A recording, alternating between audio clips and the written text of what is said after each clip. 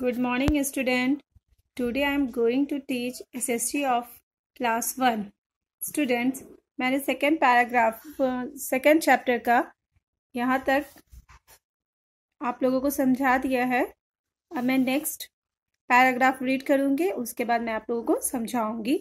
So listen carefully this is a picture of my friend Neelu's family ये जो picture है ये picture ये किसकी है?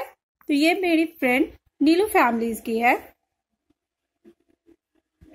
Neelu lives with her father mother sister and two brothers Neelu जो है, वो किसके साथ रहती है?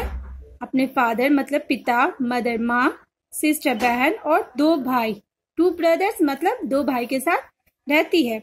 Her family is a large family उसकी जो फैमिली है, वो क्या है? लार्ज फैमिली है मतलब बड़ी फैमिली है। Her grandparents live with her उसके जो ग्रैंड पेरेंट्स है मतलब उनके दादा दादी जो है, वो क्या करते हैं, उनके साथ रहते हैं। Her uncles aunty and cousin live in another city और उनके अंकल मतलब उनके चचा चची और उनके कज़न मतलब उनके चचेरे भाई बहन कज़न मीन्स होता है चचेरे भाई बहन वो कहाँ रहते हैं? अनदर सिटी में रहते हैं मतलब दूसरे शहर में रहते हैं।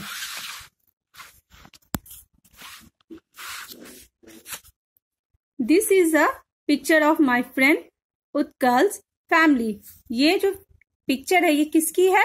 तो उत्कल्स फैमिली की है। उत्कल क्या है? उसका नाम है, ठीक है?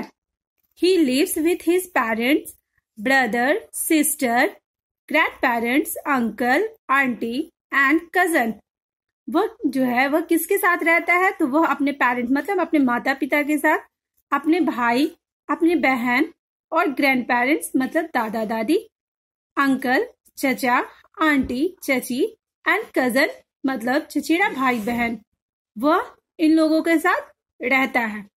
His family is a joint family उसकी जो फैमिली है, वो कैसी फैमिली है? ज्वाइंट फैमिली मतलब सब लोग एक साथ रहते हैं।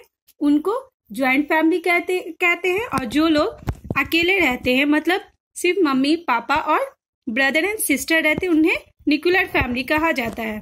ओके तो आज आपका चैप्टर कंप्लीट होता है। मैं आप लोगों को कुछ वर्ड मीनिंग दे रही हूँ। आप लोग इसे नोटबुक में नोट करके लर्न कर लीजिएगा। ओके